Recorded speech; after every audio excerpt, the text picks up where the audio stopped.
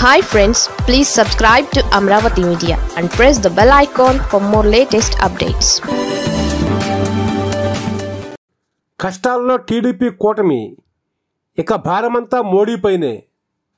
ఏపీలో ఎన్డీఏ కూటమి ప్రచారం ఆశించిన స్థాయిలో సక్సెస్ కాలేదు. చంద్రబాబు పవన్ కలిసి ప్రచారం చేస్తున్నా ప్రజాగళం అంటున్నా కూడా జనం నమ్మడం లేదు.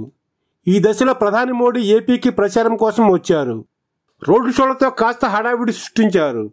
ఈ హడావిడితో కూటమికి బలం పెరిగిందని మోడీ చంద్రబాబు పవన్ల మైత్రి ప్రజల్లోకి బలంగా వెళ్ళిందని అంటోంది ఎల్లో మీడియా. మోడీ రోడ్ షోలను హైలైట్ చేస్తోంది.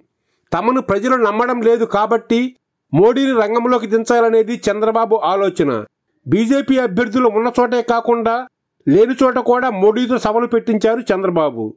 ఆహా ఓహో అంటూ తనని టీడీపీ పాలనను పొగిడించుకున్నారు. తిట్టిన నోటితోనే పొగిడించుకున్నాననేది చంద్రబాబు సెల్ఫ్ సాటిస్ఫాక్షన్. కానీ ప్రజలు మోడీని కూడా అసహించుకుంటున్నారనే విషయాన్ని ఆయన గ్రహించలేకపోతున్నారు.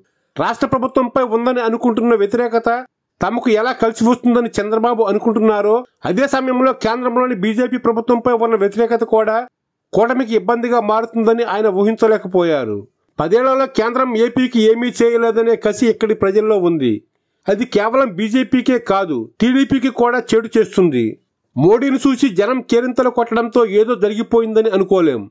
ప్రధాని రోడ్ షోకి వస్తే ఆ మాత్రం సందడి ఉండడం సహజం. కానీ ఏపీలోని ముస్లిం ఓట్లన్నీ కూటమికి వ్యతిరేకం కావడమే ఇక్కడ విశేషం. బీజేపీ గెలిస్తే రిజర్వేషన్లు కోల్పోతామనే భయం ముస్లింలలో ఉంది. అందుకే వారంతా కూటమిని దూరం పెట్టారు.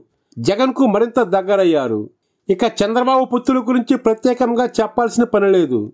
కాంగ్రెస్ బీజేపీ వామపక్షాలు జనసేన ఇలా అందరితోనూ పొత్తు పెట్టుకున్న చరిత్ర ఆయనది. రేపు ఎన్డీఏలో కూడా ఎన్ని రోజులు ఉంటారనే అనుమానం అందరిలోనూ ఉంది. రెండు వేల పద్నాలుగులో కూడా ఇదే జరిగింది. ఈసారి కూడా అధికారం చంద్రబాబుకి ఇస్తే తప్పులన్నీ కేంద్రంపై నెట్టేసి తప్పించుకుంటారనే ప్రచారం జరుగుతోంది. అందుకే చంద్రబాబును ఎవరూ నమ్మడం లేదు. బీజేపీతో జతకట్టిన చంద్రబాబుకు ప్రయోజనం లేదు. ఇల్లే మీడియా ఎలివేషన్ తప్ప క్షేత్రస్థాయిలో కూటమిని ప్రజలు పట్టించుకోవడం లేదు.